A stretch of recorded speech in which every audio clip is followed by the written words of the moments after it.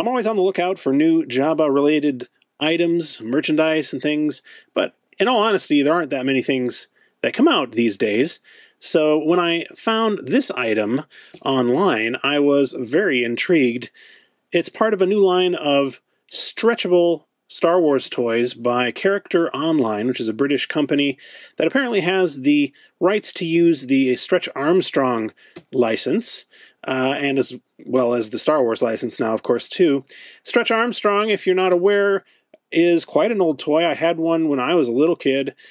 It's basically a rubbery toy filled with a kind of thick corn syrup, and you can just pull his limbs really far. You know, he's just got rubbery, a rubbery body that you can pull and twist out of shape, and then it'll eventually go back to the original size and shape. It's kind of fun.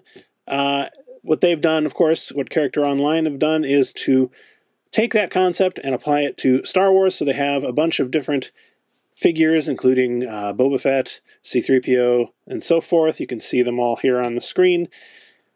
But of course, the one that really intrigued me the most was Jabba. And so I immediately set out to buy one. Uh, I found this one actually on eBay. It wasn't too terribly expensive. In fact, it was uh, retail price of thirty nine ninety nine. That's uh, British pounds, and then I had to pay, of course, shipping to the U.S. But uh, when I got the package, I was super surprised at how heavy it was. I thought maybe there had been some kind of mistake because I really did not expect it to be so heavy. As you can see here, it it weighs about five and a quarter pounds, which is insanely heavy for this size, although it's also quite a bit bigger than I had expected as well. This is a large toy. In fact, well, I'll do some comparisons later with other Jabba figures, but this is quite a large figure. Let's just put it that way. So, uh, before we open them up, I want to look briefly at this packaging. It's actually pretty unusual packaging, too. This is a sort of plastic um, sandwich. So, you've got a plastic thing on the front, you got a plastic thing on the back, and then you can see all the way through here, as you can probably see. And then this is a cardboard kind of frame around it. Um, I'm hoping I can open this up and take him out and then return him to the package for storage and display later on, but we'll see how that goes. Uh, on the front, you can see we've got some vintage inspired packaging design. Got a nice picture of Jabba here and here. I definitely approve. You see, it's called Stretch Jabba the Hutt.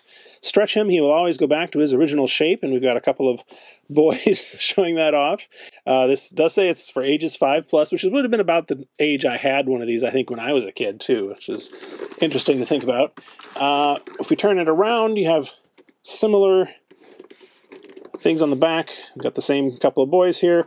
We have a uh, an odd thing here. It shows a three and three quarter inch action figure next to him, but I don't really know why because this is, doesn't seem to be in three and three quarter inch scale, and I don't think the ones, the other figures that they were selling are that small either. So I don't really know what the point of this was. Uh, Jabba, by the way, should not be this big relative to a human being. That's just excessive. But in any case, if we look over here on the left, we have a few more pictures. It says, grab and stretch his arms and legs hang on a minute. He doesn't have any legs. I don't know. I'm not really sure who wrote this or if this is just something that they reuse for all of their uh, figures, but I thought that was kind of funny. My daughter actually uh, pointed that out to me. Here it says, let go and it'll return to his normal shape. Super strong, super stretchy. So, uh, yeah, let's go ahead and see if we can open this up and see what he actually looks like out of the package.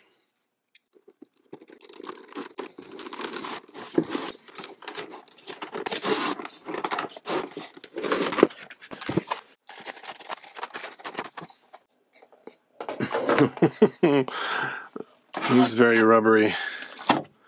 Wow, this is something else.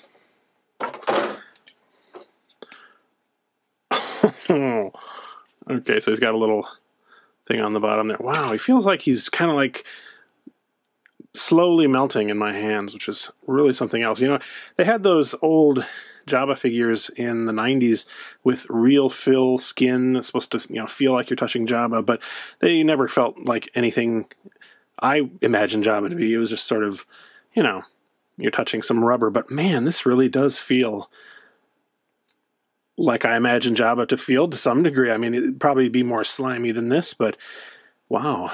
uh, we should probably do a little uh, testing of his stretch abilities. So let's see, this cap part, which is not removable and is made of hard plastic, we can try and kind of like bend his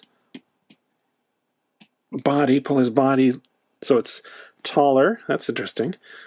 We can take both of his arms and stretch them out. You know, I'm always a little afraid of breaking something like this, but you can be pretty pretty aggressive with this and it still goes back just like it was at the beginning. And the tail, look at that. It's insane. wow.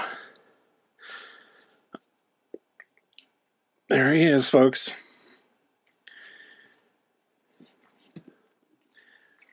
Really interesting feeling toy, I'll tell you that. Boy, I don't know what to say about this. I do want to do a size comparison. So let's see if we can. I wonder if he's just going to like kind of slowly melt into a blob or something if I leave him like this.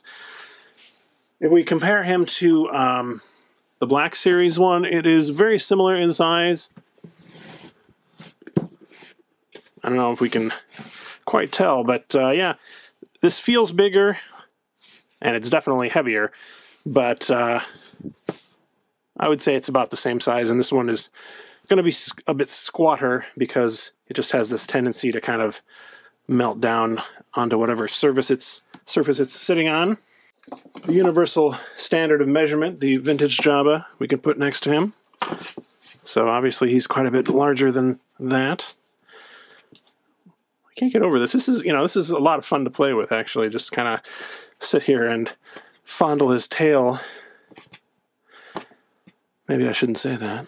So when I first heard about this, I thought thirty nine ninety nine uh, in in pounds was quite expensive, but I had underestimated how big it was and how heavy. I mean, I, I guess the weight doesn't really factor into the uh, value you get, but it does feel more substantial than I expected. Part of me wonders if they couldn't make a more realistic, higher end Jabba figure that makes use of kind of a similar concept with this, you know, this filling that would make him uh, be more sort of posable. I mean, they've tried making posable tails in the past and they've never looked right, but actually, this tail looks pretty good and it is posable. Look at that. I mean, you can do all kinds of things with it besides stretch it.